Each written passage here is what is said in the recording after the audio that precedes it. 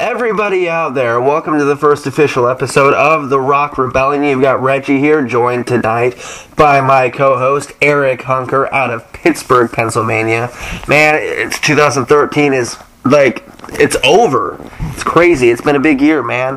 What, uh, what do you think are some of the biggest stories we've had this year in your book?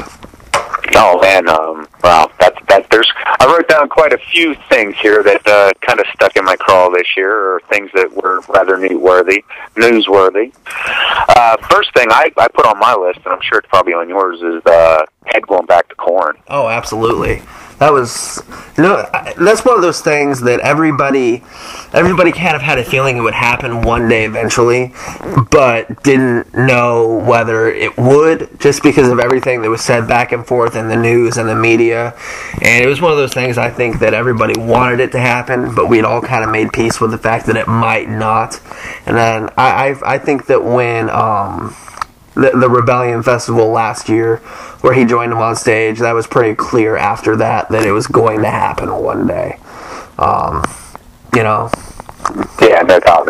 I, I'm I'm so glad that it did. You know, like just like you said, you know, the the aspirations were high, the hopes were really up there, and the, I I really didn't hold much hope to be honest that it would ever happen. But you know, uh, a lot of guys these days are, you know, it's more than just Korn getting clean. The guys in Five Finger are doing it. Everybody's kind of getting their act together. They're older. They have families now, and uh, the fact that they got it together, you know, it, it made it something that was possible. And I'm, I'm kind of glad that it did because the new album is just wow. You know what I mean? Holy cow! Yeah, I mean, it's one of those things that when when he left the band, there's it was more than just somebody leaving the band. He did so, there was so much when it went that went into the recording and the guitar of each album that left, and it was very obvious that a huge part of the band's sound was gone. I mean, just see you on the other side was good, but Untitled was not great. Um, the Path of Totality, no, no one really knows what that was even. Um, uh, the closest know. thing before this that they had come, I think, would probably be "Remember Who You Were," who you are, and then you know the title almost sums it up right there. I I think that was their acknowledgement that they had lost their way. Yeah, and I think it was also their way of saying, "Hey, we remember what we what we've done in the past and how we used to sound, and this is our way yeah. of of kind of trying to do it, but still there was that little aspect missing."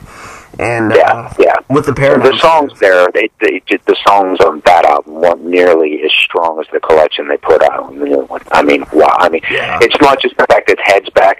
Even if Head had not been there, the songs on here were so strong they would have stood on their own. But the fact that he's there makes it mm-hmm. all the more. You know what I mean? Yeah, and I, I think watching the interviews and reading what I've read and in you know with you know pieces about that record. It, it, looks like Jonathan Davis really wanted to do a lot of dubstep like he did on the last album, and Head came in and they kind of he kind of told them what was up and saying it's, it's cool, but we don't want a whole album to be like that because he they've they've said that he balanced out the metal with the electronic a little bit, and uh, he said there was a couple moments where it got a little tense, and so I, I'm wondering if you know. Um, he's a big part of why sonically it sounds like it used to sound. Um, I'm, I'm absolutely sure that he has to be a part of it. That that him being back there, it's that renewed sense of energy that they had when they were first starting out. You know, outside of uh, outside of David not being on the drums, that's the original lineup. So there there had to be just that throwback, that original intensity that they had, and you can you can clear you can clearly clearly hear on the new album that it came through. Oh, absolutely. Very, it's very subtle, but even on the first track, "Pray for Me," it, it has that spook guitar kind of that had on, you know, "Freak on a Leash" and kind of the eerie guitar sound. It's very subtle in the background, but it's there.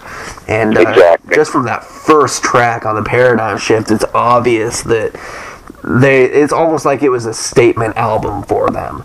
Um, oh yeah, especially with the straight, straight out of the gate. Yeah, the expecta- expectations are so high on that that it almost had to be something strong right away if fans were really going to give it a chance. And uh, I think they did more than deli- they more than delivered on that album. It's just insanely good.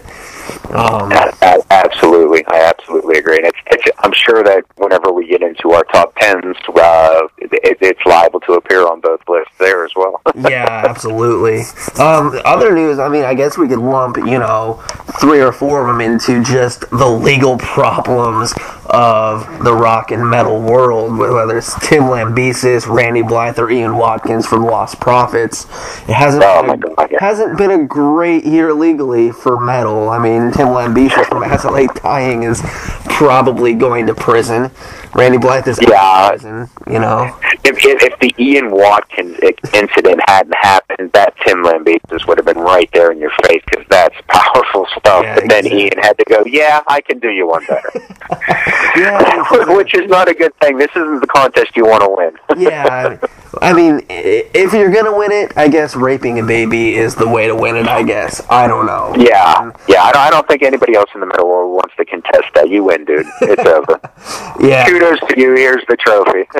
he only got 35 years. That's what gets me. 35 years. And for, I mean, I, I think the dude should have gotten life. I mean, that's, come on. I mean, uh, I, that's, I'm sure. I'm sure everybody else agrees with that, but I, I think it was just a matter of the number of counts wasn't quite enough. But you know, that what's at, at 35 years at his current age, that it pretty much is life. You know what I mean? that's, that's true. And then there's Tim Lambesis, who, I mean, like you said, if Ian Watkins wouldn't have done what he did, that would be the, you know, the legal problem of the year, I think. I mean, Yeah. For for well, you know that one there teeters right there with what, went down with Randy Blythe, because that's that's that's a hostile situation to think that a performance can land you in jail for the rest of your days. oh, yeah. I mean, and I think that it, it's, it's a bigger I, I think Tim wins it out because Tim's is just uh, an act of outright hatred. Randy's was a victim of circumstance situation. Tim set out for his situation. Well, and I think that Tim's Tim Lambesis is so it's it's blown bigger because As I Lay Dying is considered a Christian band, and so for the singer of a Christian band to hire Yeah, I'm- somebody I'm to sure wife, I mean, it, it I'm sure has- that absolutely feeds that fire. yeah, exactly, and I mean, it, it, and I think that a lot, for a lot of metal fans, it makes them look. I think it puts a lot of Christian metal bands under a bigger microscope just from fans' point of views. Because if a Christian band like As I Dying, their singer would do that, you know, the one, you know, the metal fans that hate Christian music are going to be looking at these other Christian bands to see what's going on with them and to be more critical of them in a lot of ways, which is wrong, but it's it's naturally going to happen, I think. Oh yeah. But of course, Randy Blythe, of course, that is different. Like he said, I think that was just more of an active defense on his part, and uh, it just ended badly. And uh, I mean, a fan jumping Right. on stage, any after Dimebag, anybody is going to push the fan off the stage that jumps on. You know, Yeah, you know what? If it hadn't been Randy, it would have been a security guy, but somebody was going to do exactly what was done, and the fact that it ended, it, it that's just a, a total freak thing. And how many years of metal have you heard of this thing happening, let alone it being the singer who is supposedly the, the actor in, in question? You know what I mean? Yeah, exactly. You know, I mean, and I, I think that you know, with it being metal and a band as heavy as Lamb of God, there's a huge misconception about what those artists and bands are like personally. Because they hear the kind of music and they just think that unless you know them or are familiar with it, people on the outside looking in hear it and they think that those people are just mean, bad people just because of the way they sound. And uh, it Right, it could and, be and that's not that's not the case. If Randy Blythe wasn't in music, if he's one of those few guys who had, it's not because he has charisma, which he does, but he's so well spoken and he's so versed. You know, he's one of those guys. If he, on because you know, you over the years you've heard the jokes of Randy for president. Yeah. He's one of those few guys. If he did go into politics, could do very well. Oh yeah. So, and, and most people don't realize that there's guys within the music world who actually have that quality about them, and Randy is absolutely one of those guys. Oh yeah, I mean, and he's when they say he's one of the nicest guys in the world, he really is one of the one of the nicest. He has one of the biggest hearts in all of music, not just metal, but all of music. And um, he, he, humble, humble beginnings, man. He's from a small town in Virginia, you know, in, in in in Virginia, you know, and it's it's it's a great place. You grow up in the wilderness. It's a totally different thing than the bands that come out of the big cities like L.A. and stuff. The guys are different. yeah. They're they're more you know, earthy, I guess is the word. They're just they're they're more solid, rounded individuals. Yeah, absolutely. Um, another big story for me, I would say, is the fact that the Chariot is has called it quits. It just, I think, wrapped up their flat their last final tour, the farewell tour. For a band as good as that to call it quits, and I don't think anybody's at, has really heard why. It's just they are done. Um, that's huge because I mean, for me, one Yeah. of the biggest, one of the biggest in the Christian metal world, one of the biggest bands ever. I mean, with Josh being in Norma Jean and then starting the Chariot, just absolute trailblazers in a lot of ways. They opened the door for so many hardcore Christian bands to really do what they do, and it's so sad to see them, you know, done. Yeah, yeah. Uh, You know, whenever a band uh, strikes a chord like that for as long as they did and as powerful as they did, it's always sad to, get, to see them go. There's actually bands that I've locked onto so hard just that that actually maybe did a debut album or at best a sophomore, and you just they've they've got something that strikes a chord just so with you that it really it really finds a place in your heart and it sticks with you. Those, those guys are one of those. They're they're one of those bands. Yeah, exactly. And their live show is if you want a live show where you can't put into words what you saw, um, the Chariot Uh, yeah. summarizes that. I mean, Yeah, them and Devin Townsend, right? that Retinal Circus DVD. Oh my God! I mean, yeah, we'll, we'll we'll we'll get into that one a little later, but yeah, right. That's that's Yes. something that defies description. I, I would say another big story would be the fact Rob Caggiano quitting Anthrax and then jumping into to Oh, Volbeat. absolutely. Um, Oh, absolutely. Out of- out of I, I, you know what? I mean, it's funny when you look at the if you have any of the older Volbeat DVDs, Robbie and uh, Scott make appearances in one of them, and it's so funny that you know that was kind of like a foreshadowing of what to come. Who who knew? Yeah, I mean, and he he fits in so well. I mean, they're, uh, I mean, it, you you can't put. Volbeat is just so good. Uh, he's such a, Yeah. such a talented guitarist that it's a perfect fit for him. Right. Yeah, I was fortunate enough to catch Volbeat this year out in Philadelphia, and uh, as you say, Rob fit. It was a perfect fit. It was like he'd been there forever. There was no nothing but absolute electricity between him and the rest of the guys. And yeah, man, not only are they one of the best performing live bands, but whoever handles their sound does such an incredible job. They're, they're they're truly a pleasure to see live. Yeah, I caught them back in May here in Indiana, up at Fort Wayne at Piere's, which is one of the best places to ever see a show, and uh, it, it was like a party. It was just one of the most high octane performances I've I've seen in the last few. I think it's that rockabilly element. You know what I mean? It's like when you hear the music, you can almost you feel like you should be out in the wilderness with a hundred of your friends and three kegs, and that's the that's the jam band for the night. You know what I oh, mean? Yeah, I mean it's it's just fun music. I mean, you when you hear Heaven nor Hell, you can't not be happy. It's just Yeah, yeah. you know. Forget it. Yeah, it's good time. It's good time music, man. It's it's a, it's a perfect perfect marriage of metal and uh, Johnny Cash meets Elvis kind of thing. It's it's a beautiful thing. Absolutely, man. I guess we can jump ship. Go ahead. Good.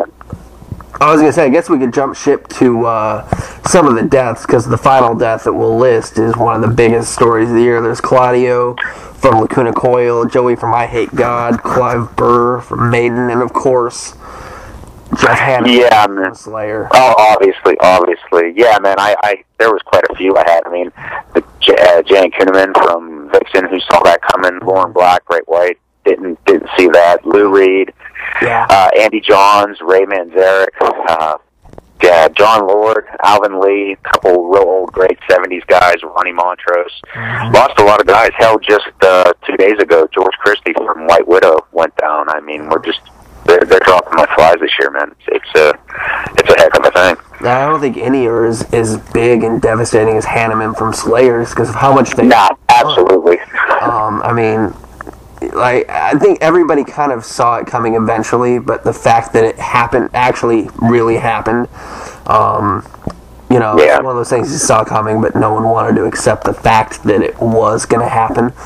Um, Yeah, I, I had my fears. I mean, I was pretty much convinced, as everyone else, that he was probably never going to be able to be an active part of Slayer. Maybe like a, a live performance on the track here and there. maybe he'd be able to write or something at least. Still, you know. Yeah, a, a little something, but uh, man, to just it and like you say, so out of There wasn't like a news story the week before saying, "Oh, Jeff Hanneman, has taken a turn." No, it was just bam. Oh, You, really? you well, you yeah, you woke up that morning and was like, "What?" Yeah, I mean, the fact that it, it is good that it happened on the day of the Golden Gods Awards here um, in the states. I mean, that is a good thing because everybody was together, um, so everybody could grieve together at the same time, and it was a good way to have a tribute show to Hanneman. Uh, so I guess it happened. If there is a good day, it happened on the best day that it could possibly happen. I guess. I guess I guess that's the metal way to go out, right? Yeah. You gotta if you gotta go out on a cool day, that's the day to do it. Yeah, exactly. I mean, Hanneman, Hanneman even knows how to exit in style, brother. yes. yeah, I mean, I, that's probably the biggest metal death since Dio. I think. Um, Oh, hard for sure. I mean, you know, it it, may, it brings the only other like bigger ones would be you know Dimebag, Dio, Rev, maybe Paul Gray. Yeah, that was losing Yeah. him. That's hard. That's hardcore. Yeah, and that was. I mean, a lot. I was. I'm glad I got the chance to see um, Paul Gray perform before he passed, and the Rev. Um, but I never got the chance to see Hanneman, and unfortunately, I never will. Um, but uh, you know, It is a beautiful thing to behold. hopefully, hopefully, 2014 will see less deaths than this year because it's just insane. Um, I- Well, my concern, well, you know, I next my next news thing would be my concerns for a couple guys who are looking death in the face these days. It seems. I mean, you got health concerns. You know, you got Tony Iommi, you got Lemmy, even Steve Perry from Journey, cancer scare. I mean, we've got, we've got a lot of legends uh, who are not doing well. Yeah, it's it's scary. Um, but hopefully those guys will turn it around. Um, I, I guess the uh, another big news story from this year would just be something that just hit I think last week, and that's Joey Jordison leaving Slipknot. Uh, Absolutely. no, So uh, there seems to be some debate. that Joey exit or was he asked to leave? Yeah, I, I, I honestly, my honest opinion, I think that he want the rest of the band is obviously ready to write. They have been for you know the last month or two. And I honestly think that with Scar the Martyr coming and debuting in the last few months, I think that maybe Joey, his priorities are on Scar the Martyr, and the guys are just tired of waiting, and he just doesn't want to do anything Slipknot related. Um, and they got to keep going somehow. Yeah, it re- sound sound reminiscent of uh, Dream Theater a couple years ago. Yeah, yeah, it could be. Um, Pretty much the same, pretty much the same situation. An absolute member drummer even yeah, yeah. Well, Port- schedules can't work, and there you go. Portnoy. I mean, I think Portnoy should have known that that Avenged Sevenfold thing wasn't going to be permanent. He was just filling in until so that they could play the, you know, they could tour on Nightmare for a little bit. I don't think anybody saw, obviously outside of Portnoy, that it wasn't gonna, you know, Mark Portnoy and Avenged Sevenfold permanently. I don't know. You know, it seemed. Yeah, uh, I I couldn't see it, and Yeah. uh, if you listen if you listen to to Mike talk, he always wants to play it off like it, he never really thought it was going to be a, a real thing, but uh, conflicting stories tell you otherwise. So Yeah. it's one of those things where I guess unless you're right inside, you really don't know. Yeah, exactly. I mean, there's other rumors out there about what really happened with Joey. Um, you know, it could be a, num- a number of things, but it it, Oh, yeah. it does suck because he was one of the original members even before Corey Taylor was even in the band. Um, and Exactly. so, I mean, it's it's gonna be I think a long process until everybody knows exactly what happened. I mean. Corey Taylor said a couple things, but nothing to talk about why. I guess there's lawsuits or legal things going on and all that, which is, you know, obvious Well, that that's going to that's, happen. that's another big that's another big question. At what point, when you lose so many core members, do you stop using the name? When should it not be Slipknot anymore? That's just that's just like why when is it not Lynyrd Skynyrd anymore? I mean, there's two original Yeah. members left in the entire band. Um, yeah, you know. know what? There's quite a few bands out there who are doing it that it's one core member left, uh, and you know they're still doing it under the name. There's a few bands that are out there that have no core members. Quite, I was shocked when Quiet Riot came to town this year and thought, "My goodness, how do you do that without a lead singer?" Yeah, I, I think that with Slipknot is, even though it's not the core original, it is as far as the, the self-titled debut from '99 goes. I it is. There's only two members from those nine that are gone, Paul and Joey. The rest from that self-titled are still there. So I think as long as there's over half of that lineup there, it'll. I'm cool with it. Um, Yeah, yeah I, I'm still okay with it too. It's just it's always a question, and, and you know that it's going to be one that they're hit with heavy next year. No matter what they do, they're going to have that's going to be one they're going to get.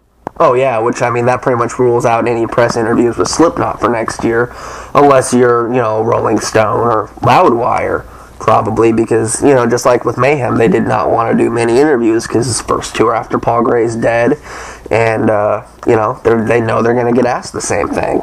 Um, Yeah. You know. Yeah, and you know what? When it comes to a situation like that, you can only rehash that day in and day out so long before it actually starts to really mentally play with you. And I think a, a core member leaving a band does it does something to the members. You know, they're, it- they're not the same after that. Whether it's a passing or somebody leaves the band, I I think that it changes the band permanently.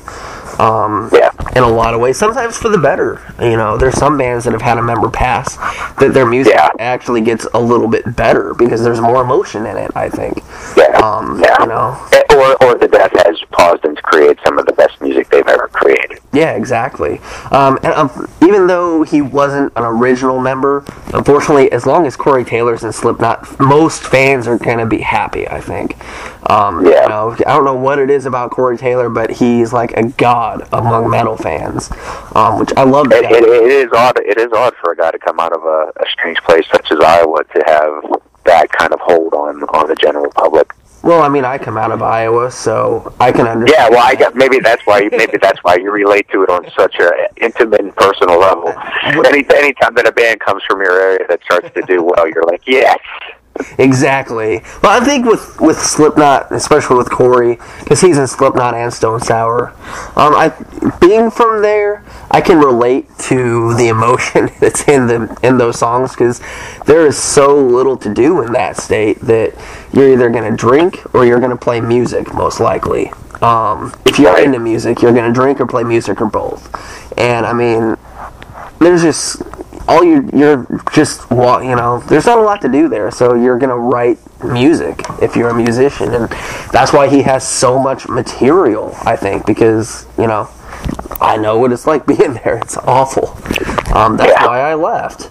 Um, you know um, so what what I guess let's let's talk about some of the shows that we've done this year with the front row report. It's 2013. Well, before before before before we before we switch gears, real quick, a couple other they're kind of lesser news story, but things that that may relate to some other folks out there. Um, one thing, um, uh, you know, Hinder parting ways with Austin Winkler. Yeah, that was kind of yeah, where that, they. that was big. Yeah. Um, Uh, J Mann coming back to the fold with Mushroomhead. That's pretty big news. It's nice to see him back. Uh, you got Richie Sambora bailing from the John, John Bon Jovi tour. Uh-huh. Chester Bennington joining Stone Temple Yes. Pilots. yes. Night Nightwish, a big epic band from across the uh, across the pond, parting ways with Anette and hiring Floor Jansen. That's pretty big over there. And rumors that Kiss may reunite for the Rock and Roll Hall of Fame induction ceremony. Yes. That could be cool. Um, That could be cool. And on a personal note, us here at the Front Row Report getting a, a, a press nod for your Luna comments in the in Revolver magazine this year. yeah, that was pretty big. I guess that's in Yeah, for I mean on a personal on a personal note for for us that that's a pretty big thing. That's cool. Um, uh, on another personal note, then we'll go back to some of the some of what you touched on.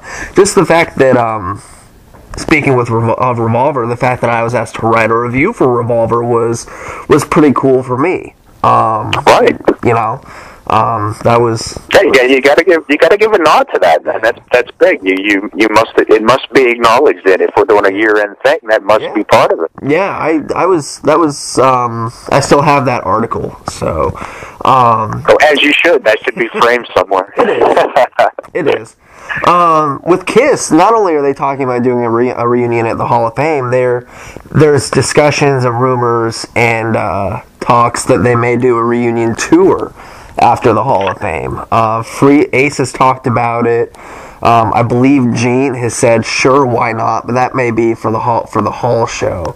Um, but obviously, you know, with a band like Kiss, you know, those questions and rumors are going to come up that hey, they might uh, they might do a reunion tour after the Hall of Fame. Which I mean, with when you're on a level like that with a fan base as big as Kiss.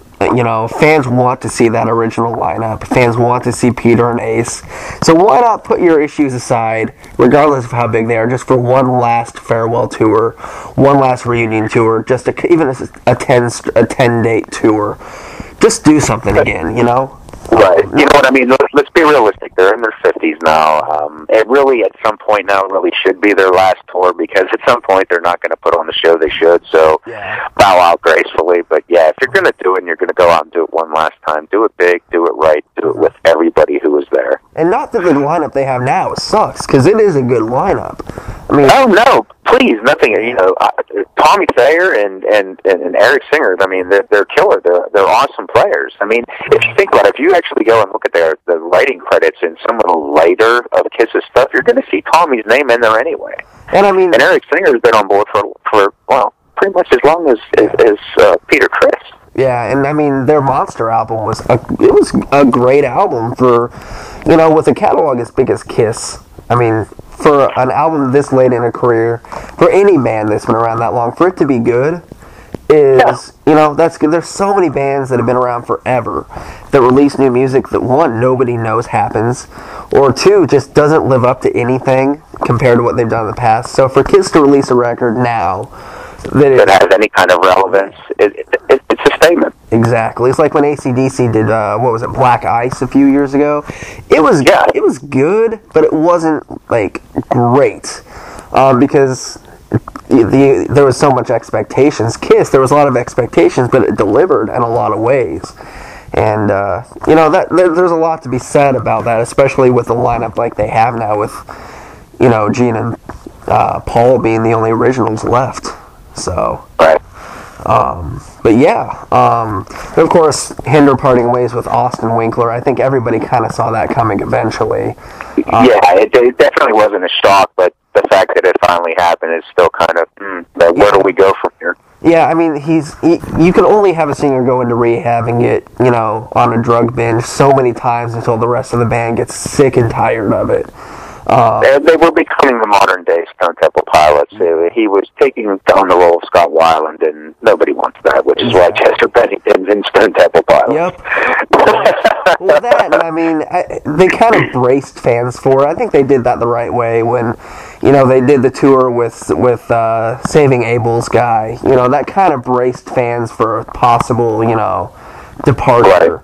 Um, which, uh, know, I think they did that right. I think, you know, it kind of eased fans into it. It's almost like it was.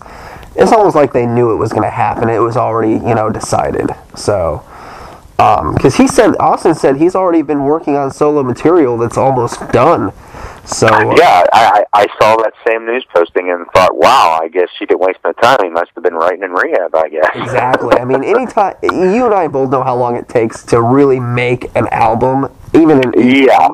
So the fact that it's almost done shows that he's been out of the band for a while, or at least been writing for a while. So, um, you know, uh, I'd say definitely holding back at the very least. yeah.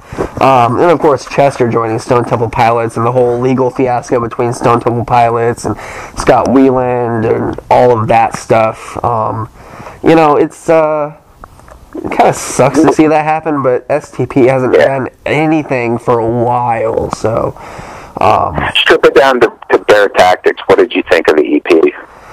uh, I enjoyed it. It was good.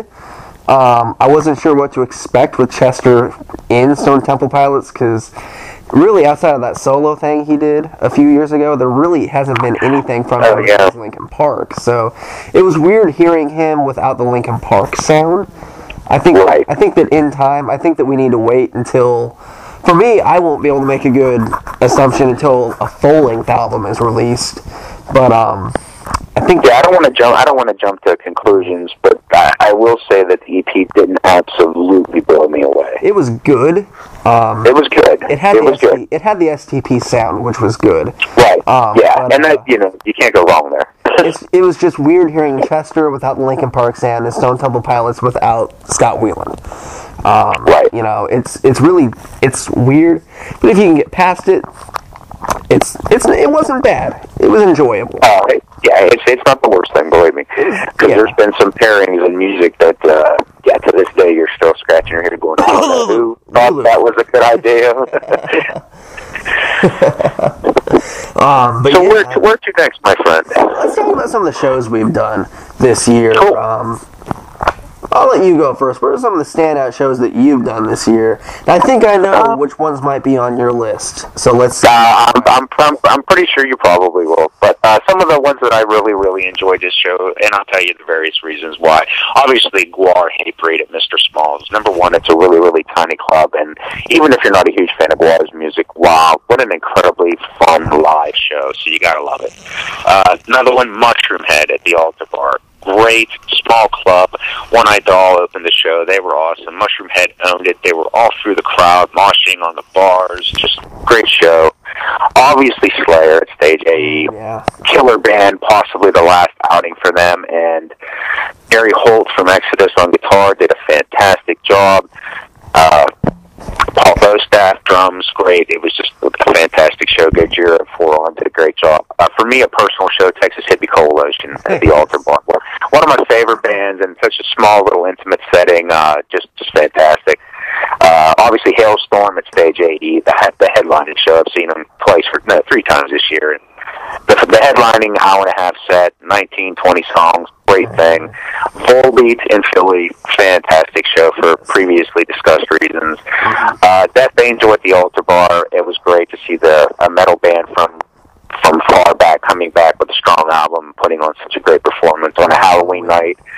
Yeah, t- totally cool. Uh, for me, an old school guy. Um, Kreator hasn't been in the states for in Pittsburgh for probably 20 years. So the Kreator Overkill show at the Altar Bar, that was just that was a one for the heart for me. Uh, Lamb of God, Kill Switch at Stage AE. Wow, what uh, just uh, four bands that night, and every band better than the last. Um, a big one for me is a old punk guy, the Flag Show. It's not entirely Black Flag, but uh, to see them out playing Flag songs, wow, that was killer.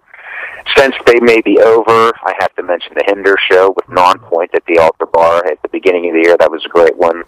Uh, KMFDM at the beginning of the year at Mr. Smalls. That was a great, uh, but interesting show. Uh, different crowd shows out turns out for a KMFDM show. And one last one, I traveled out for you guys for here at the for the uh, front row report, and I did the Sick Puppies ten year uh, show out at the Chameleon Club, and I had a great time that night. Sick Puppies are so awesome, and Emma is just uh, she wow, one of the best players out there. Nice. So that's my list. That's my list, brother. I yeah, that's a good list. I kind of knew kind of what was going to be on that list. Um, for for me, uh, for I started the year off great with uh, Stone Sour and otherwise in Fort Wayne at Piere's, and uh, that show for me it stood out because um, one, the fans body surfed the trash cans up to the stage. Um, which anytime that happens is a winner right away, and that was during the first song. Also, the fans were so loud singing "Bother" that Corey Taylor stopped, and you could just see him say, "Holy shit! Wow!" Anytime Yeah. Corey Taylor is made to be speechless or it has to stop a performance because of the crowd blowing him away, that's a good show in my book. Um, oh, indeed, must be acknowledged. Oh, absolutely. I would say Skillet at Spirit Song in Ohio at Cedar Point. Uh, no, not Cedar Point, but uh, I don't remember the name of the um, um, the amusement park. But two days after their uh, after Rise was released this year, um, Skillet's headlining show with all the fire and pyro and Oh, cool. yeah, that was anytime you see a show right after a band releases their record is highly anticipated. Um, is gonna be a good show, but um, for me the the big one would have to be Rock on the Range. Um, that lineup they had with it with it being Korn, second show back with Head. Um, that lineup this year was amazing. Korn, Smashing Pumpkins, Stone Sour, Papa Roach, Bullet, Soundgarden, Alice in Chains, Bush, Volbeat, Skillet was on there, Sick Puppies, and Sevendust, just to name a few of the 44 that were there.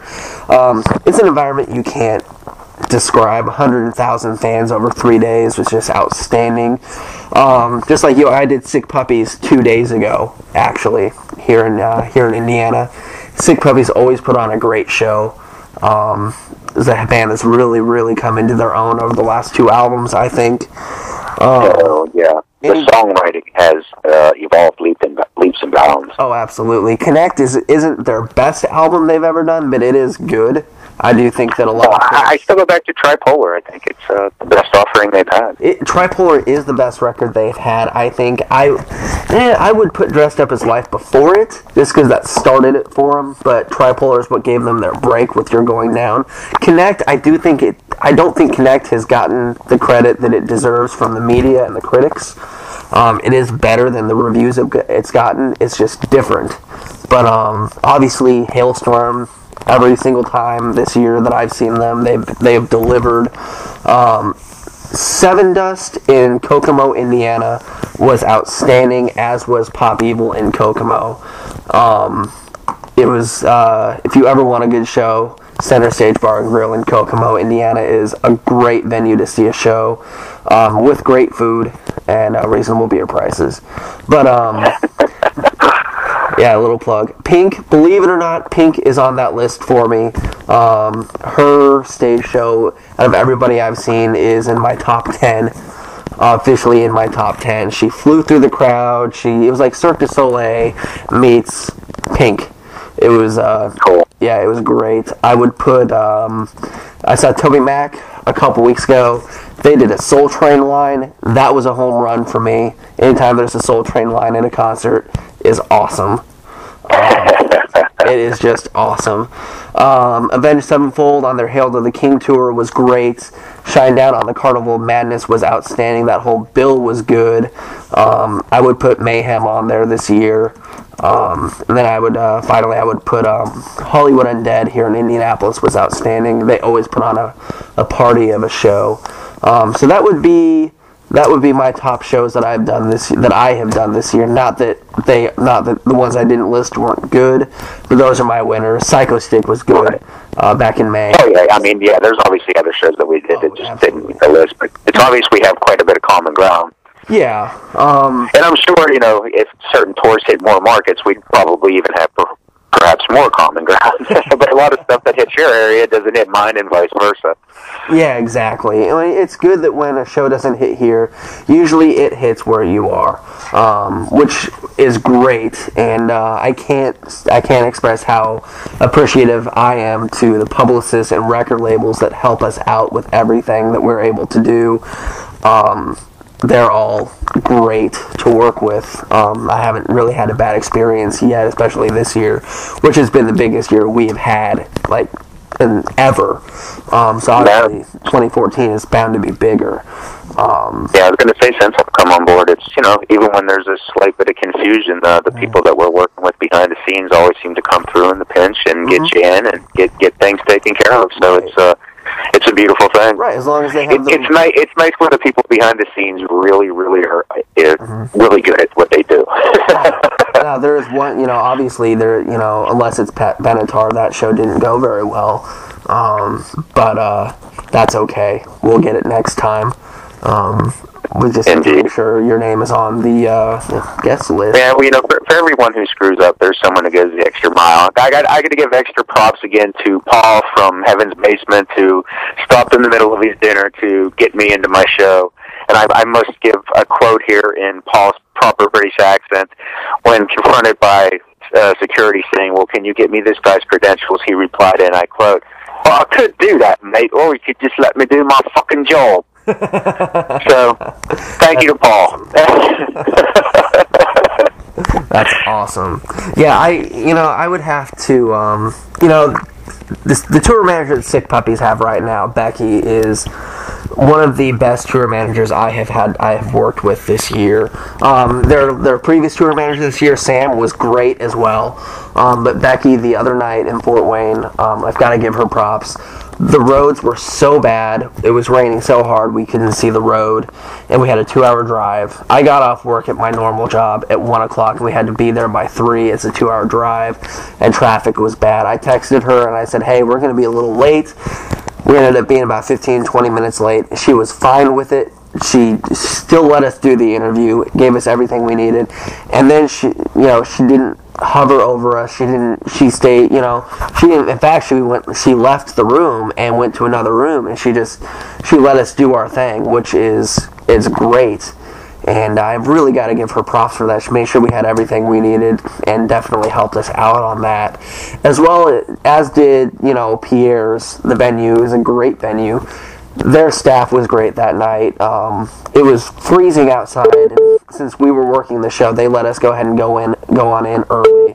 And, um, they let us go in early for the show and sit sit so we didn't have to wait in the cold since we were working and it was just an all around good show.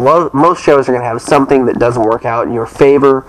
Um, that was one show that everything, not one thing went wrong. It was outstanding. I couldn't have been happier. So uh, I guess shout out to all the tour managers, publicists, record labels, and everybody. They've been great to work with this year. Um, it's been awesome, and uh, I couldn't be happier with everything we've been able to do this year. So yeah, yeah, it's been it's been uh, you know I haven't been on for the whole year, but uh, the last half of it's been a fun ride.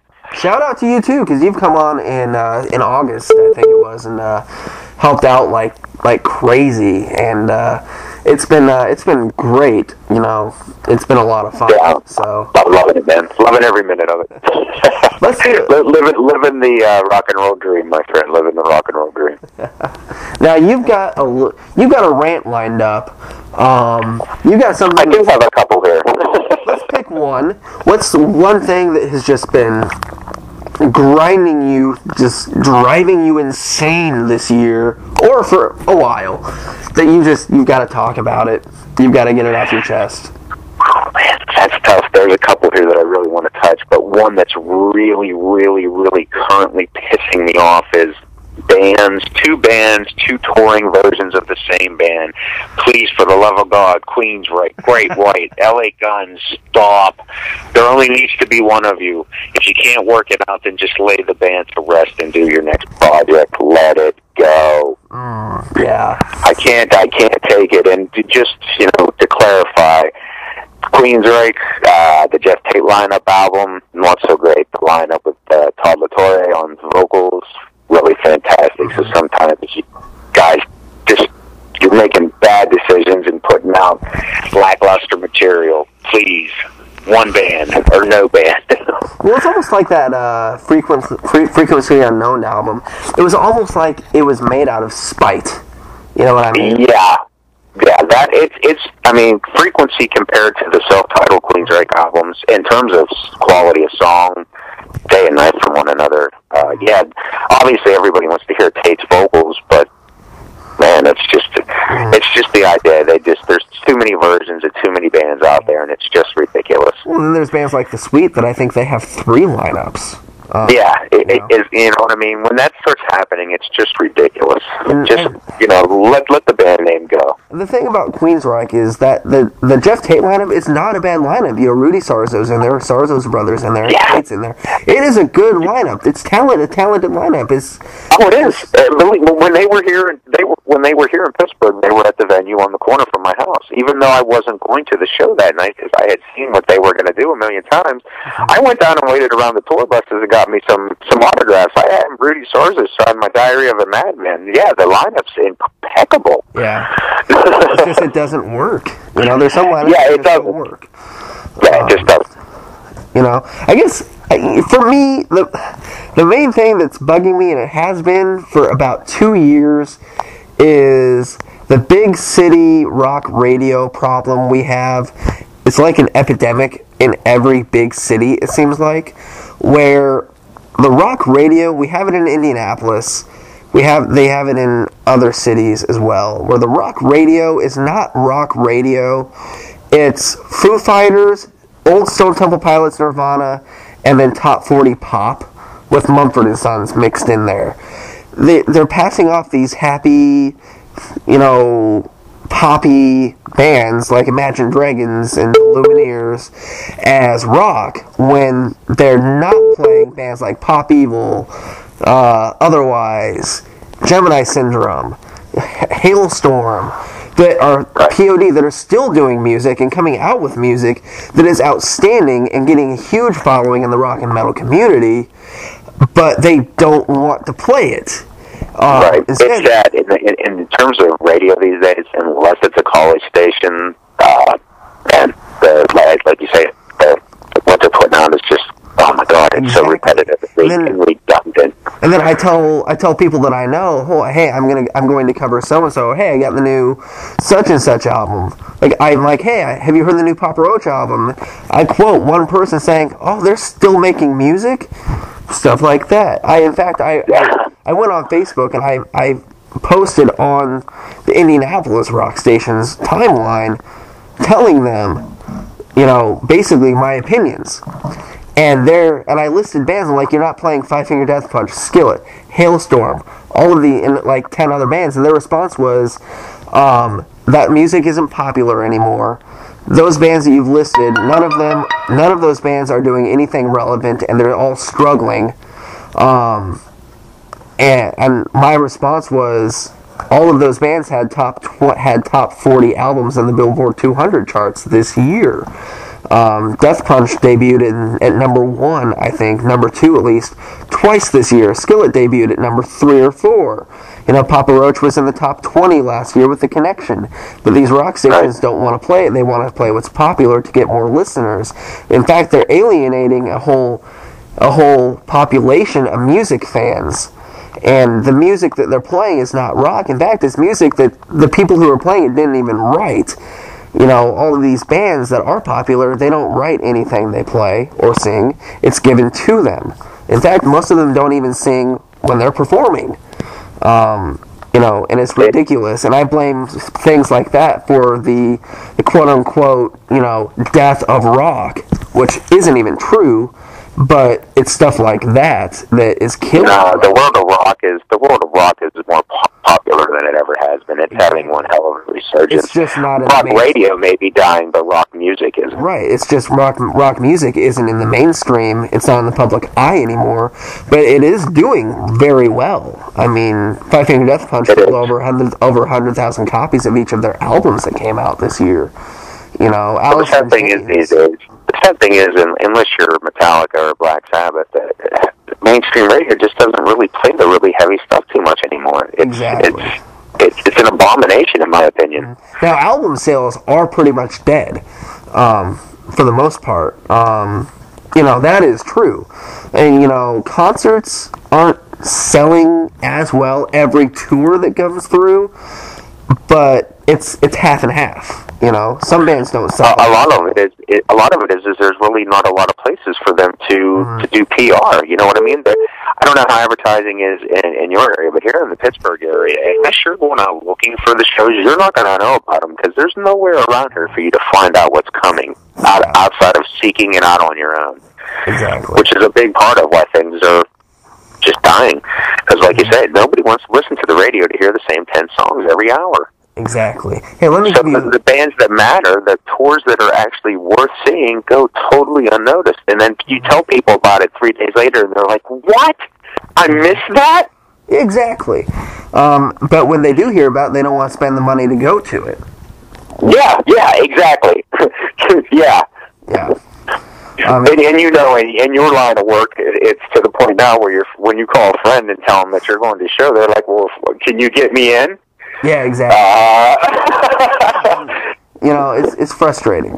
Um, you know, I do blame you know the you know the the the non dedication of rock radio of you know to play rock radio, their non-dedication to that to how the you know the slow decline of rock popularity because I mean if they still played rock music it would be huge you know people would still know what's going on but they don't. That's why here in Indianapolis the majority of people don't even know who Volbeat is. They've never heard of them. You know they don't know Smile Empty Soul released another album this year. That was very good by the way. Um, they don't know that Five Finger Death Punch is you know, making new music, or that, you know, they don't know who Skillet is, they don't know who Red is, they don't know who Otherwise is, which is one of the best up and coming bands today. Um, they've never heard of Gemini Syndrome, who are even, you know, one of the best metal artists. They'll probably be on Mayhem next year. They don't know who any of these people are. They're missing out on, you know, rock radio is robbing rock fans and metal fans of everything.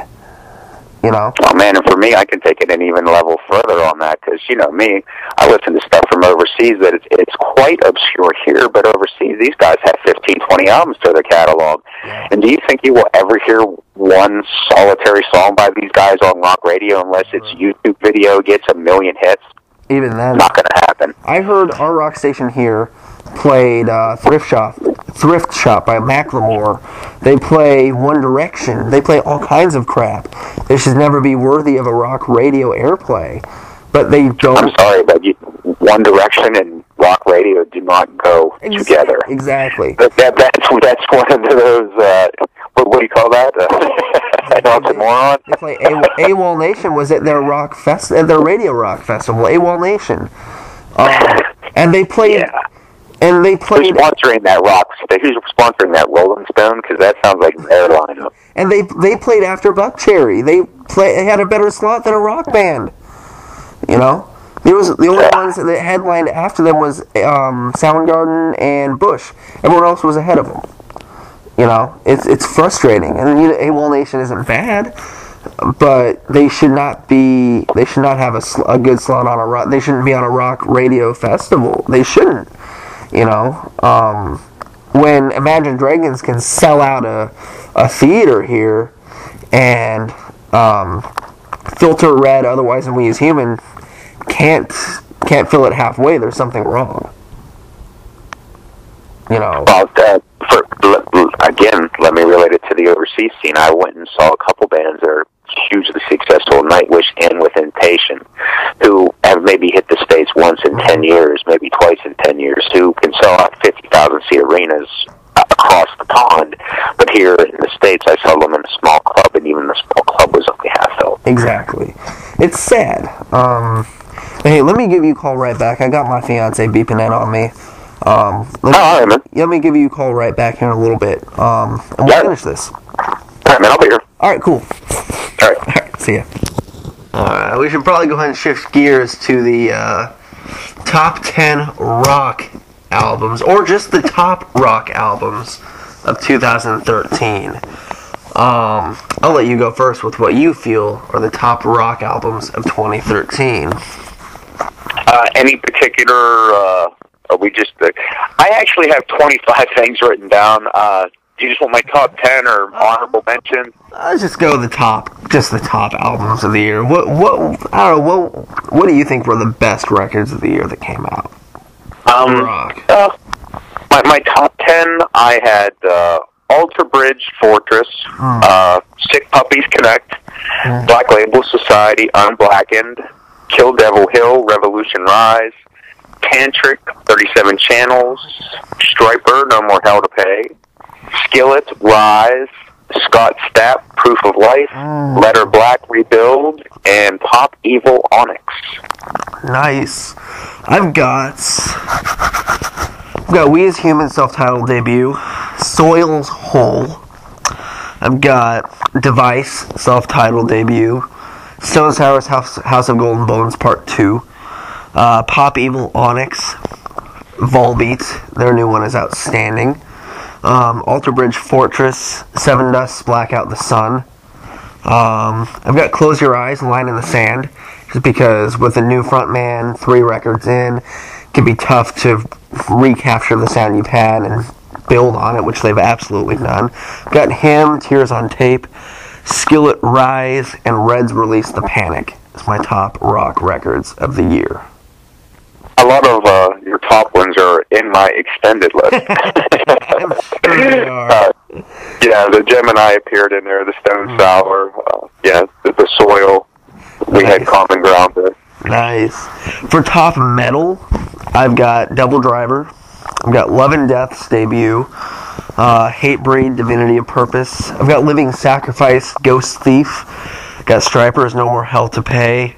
Got Rob Zombie's Venomous Rat Regeneration Vendor. Not only is it good, it's a great album title. Uh, Avenged Sevenfold's Hail to the King. Both Five Finger Death Punch records. Butcher Babies Goliath. Uh, Black Sabbath's 13, Ghost's Infestissumam, and their uh, covers, EP. Got Motorhead. I've got Korn's Paradigm Shift, and I've got Gemini Syndrome's Lux. But for my honorable mention, I have to throw in Devin Townsend's Retinal Circus DVD. Cool. It has to go Oh, in that's, there. act- that, that, that's that's actually what started my top metal was the Devin Townsend Retinal Circus. I was just so blown away by that uh, that it's it's just something that bears witness. Um, I had Testament to Dark Roots of Thrash. Uh, I had a as like you, both Five Fingers, obviously. Um, one that really hit home for me this year was the new Pro-Pain, the Final Retribution. Just oh my god. I can't express enough just what a good slab of melodic slow metal it is. It's just wonderful. Uh, Korn, the new one, of course, uh, Avenged Sevenfold, The Hail to the King. I had Trouble's new one, The Distortion Field in there. Uh, Havok's new one, Unnatural Selection. Uh, for Slayer fans and old school thrash, that's an amazing album. Uh, Motorhead, Aftershock, and uh, Black Sabbath 13. And then uh, just comparable, you know, I had some common ground with you. Uh, with you know, I had uh, the Sevendust in there. I had Butcher Babies in there. Uh, I had uh, the Ghost in there. I had the Sevendust in there, and then there was a couple other ones that I threw in. Yeah, you had Devil Driver. I had that in mind too. But uh, I gave honorable mention to Death Claw because uh, Yeah. just really good. Um, the new Dream Theater I really liked. Um, the new Death Angel I really liked, and I actually put Jason Newsted's metal album in there. Oh, good one. I would for honor- honorable mention. I put Otep. I would put Otep's Hydra on there.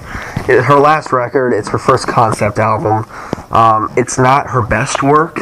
I do think Sevas Tra is her best album she's ever done, or The Ascension. But uh, Hydra is such. It, it, it's a. It's aggressive. It's angry. It's. um, it's very similar to her House of Secrets record. It's uh, it's very good. Um, people need to check it out. I like I like that band. That's that's an excellent band. For rock, for rock, I would throw uh, a new band out there. They're not new. They're on their first album. They're a relatively unknown on the national level, but they're a band out of out of Tennessee called Roses Unread. Uh, female fronted band by uh, fronted by Allison. Her husband John is the guitar player. Um, is uh, probably one of the best unknown unknown bands I've ever heard. Um, they are very good. Um, so people need to check them out. Um, they've uh, they've shared the stage, yeah they've shared the stage with a lot of big names. I mean they've been on stage with Saving Abel, Tantric, Eye Empire, Twelve Stones, Taproot, Pillar. Uh, they're playing with Straight Line Stitch next year. Um, so uh, definitely keep your eye out for them because they're awesome. Cool. Cool. Yeah, my other honorable mentions for rock stuff is uh, more obscure. It's a little uh, more obscure thing. There were a couple things, you know, that I thought the new Soundgarden and the new Alice in Chains, both pretty solid albums. But from there, for me, it's uh, you know, it's uh, stuff from uh, overseas. You know, the new Airborne album I thought was really good. Really, really strong album. The new Adrian Gale I really enjoyed. I like you. I really like that Gemini Syndrome. Good band, and you know, Heaven's Basement. They were they were so good live that I really got to give them props. That's actually a really strong album, Filthy Empire. Oh, nice. Um, I I almost put Alice in Chains on there. It's a great album. I love it. It's It's not as strong as the last one. it's though. not, and it's a lot slower as well. Um, it's a very slow album, I think. Musically slow. It, it's great, but um, there's a lot of slow songs on there. Um, you know, the new Bride, Incorruptible. Bride has been around for a very long time, and uh, yeah. Incorruptible, their final studio album.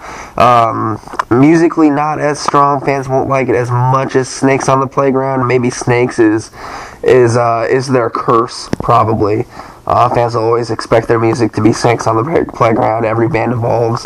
Incorruptible is very good. Very probably the most emotional record they've ever written, and uh, it's a great way for that band to go out. Um, John Schlitt from Petra, he just released a Christmas album. I've never liked Christmas music. I have never loved it. I've always been one of those people that can't stand it. But it's it's a good Christmas album. It's very good. Um, oh, just so many good albums. I put Hollywood Undead, Notes from the Underground on my rock list, even though they're technically not rock. They have that rock element to them. It's uh, that's a that's a solid album. Not as good as American Tragedy, but really really good. Also had Tech N9ne on there for his um for his therapy EP. It's a rock metal rap hybrid album that's outstanding. Produced by Ross Robinson, obviously famous for Slipknot, Korn, all those.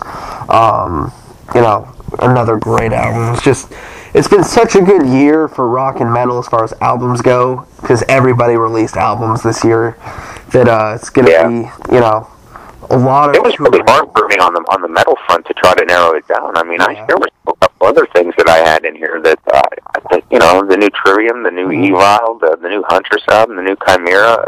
They were all there are it's impossible you know what I mean. It- yeah, I mean, with a year with a year like it was, to try to not narrow it down to ten was impossible for me. To keep it under twenty five was even tough. Good year, and that's that's a that's a that's uh just another testament to what we said earlier of how rock is really having a, a really strong comeback. That right there it is, looking you in the face. Look at those albums and try to deny how strong of a year we had. It is, and I, I think that the public popularity, I think, you know, it's an ever evolving trend. You know, rock and metal was very popular in the 90s, and then pop and rap and hip hop took over. Now we're on the dance craze. Rock and metal will have will have our day again. It'll happen.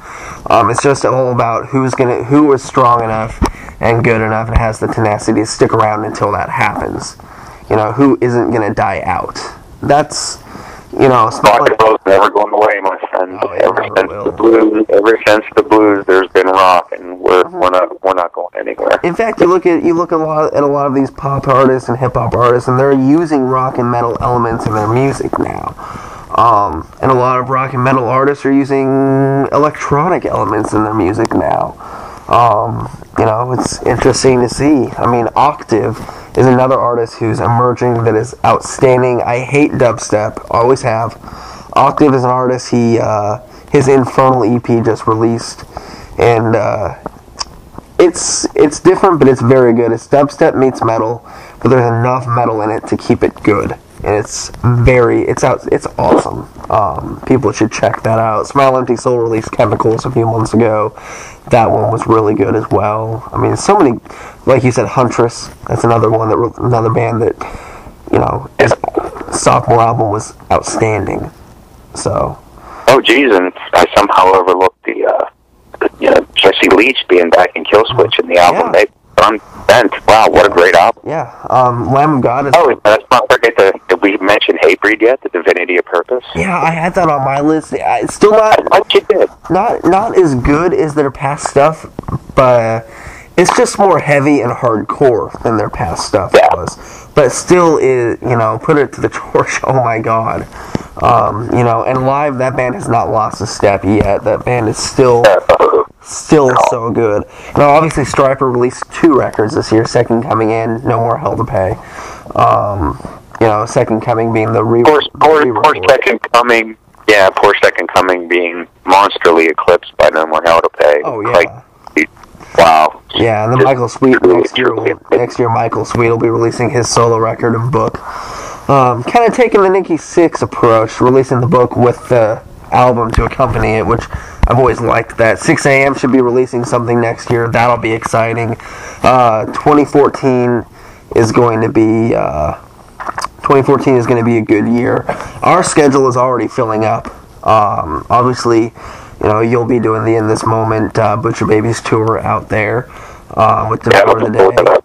I saw Devour the Day the other night with Sick Puppies, and they they put on a hell of a show. Uh, it'll be a good way to open up the uh, open up that show. So uh, that'll be fun. Yeah, that's actually at a new. That's actually at a, a newer club down in Pittsburgh. It's been the place has been there for many years, but it's been many different things, and it's finally a, a music facility again. So I'm hoping that they've done right with the the revamping of it and are able to put on a decent show there. That'll be the first time that I'm at this new place. So Nice. not only getting to see in this moment, but at, at a new venue that uh, appears to be pretty small, so that should be pretty intense. Yeah, I mean, uh, for us, we'll start off in January with uh, with you and with uh, in this moment tour. I'll be hitting Stone Sour and Pop Evil here in Fort Wayne, which will be a great show. Um, we'll have the the Road Show, formerly Rock and Worship Road Show, Skillet headlining that. Um, Chimaira is hitting uh, Pittsburgh. It's also hitting Kokomo here. Yeah. Um, I'll- I will be uh, doing Stryper and Queensryche in March in Iowa. So that is going to be uh, that'll be a great show. That show is going to be March 22nd in Iowa, Clear Lake, Iowa, at the Surf Ballroom, famous for Buddy Holly, Big Bopper, and uh, Ritchie Valens. That whole plane crash. It's going to be in that city, at that venue, and so uh, that's going to be a very good show. And obviously, March is going to start festival season for everybody. So Yeah, I'm looking forward. There's a couple uh, more personal things, but you know, lesser known bands. Primal Fear finally hitting the United States at the Altar Bar. Oh my God, that's I, I can't express how much I'm looking forward to that one, and uh, uh, I'm looking really looking forward also to uh, a couple other smaller ones that are that, that, that are coming that uh, I didn't see coming, and I'm looking forward to Dream Theater, for instance, on the corner right down by my house. At a great little theater. Uh, that's going to be that's going to be off the hook. And let's, and let's not forget Red Dragon Cartel releasing their debut album next month. oh my God, yeah, I'm so looking forward to that. It's It's, about time Jakey Lee finally doing something more rock or- oriented.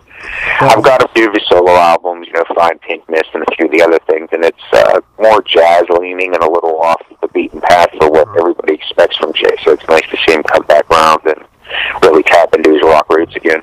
Now, if uh, if Ritchie Blackmore would just do something rock related again, it would be great. Uh, Yeah, uh, nothing against Blackmore's Night, but from a guy who grew up on Rainbow, Man on a Silver Mountain, and stuff like that, kind of depressing.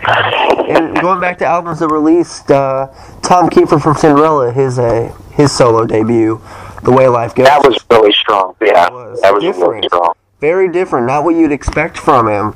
Uh, but with the No. vocal issues he's had and all of that stuff, it was, uh, you know, it obviously took like 10 years for him to make, but uh, that was a great album. Um, you know, a great. Yeah, I don't think even if he had tried to do something under the Cinderella moniker, that it could have been any better than what he offered up on his own. Mm-hmm. It was very good, and hopefully Cinderella will be touring again soon. I think they're they're talking about it, which would be very very good to see.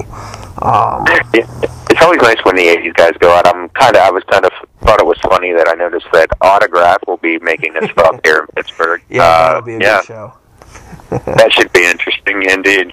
Yes. Well, I think that about does it for our Rock Rebellion podcast. Um, if anybody has any input on anything we've said, if you disagree with anything we've said, you can comment and uh, we will read it. And uh, if you disagree, you're probably wrong, but we'll take that into consideration.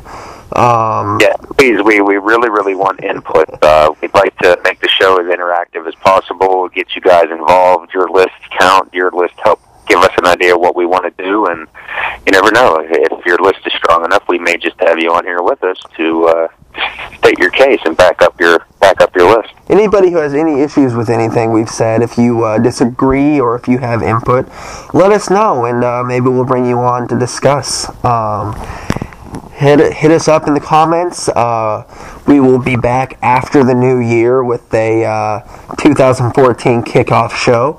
Um, in the meantime, look for more interviews from the Front Row Report with Sick Puppies, Roses on Red, John Schlitt. Uh, in this moment, other artists, Korn, him. Um, check out our videos, check out our interviews, and keep checking back for the latest news. Go to thefrontrowreport.com for the latest reviews. Thanks for listening, guys, and have a great holiday.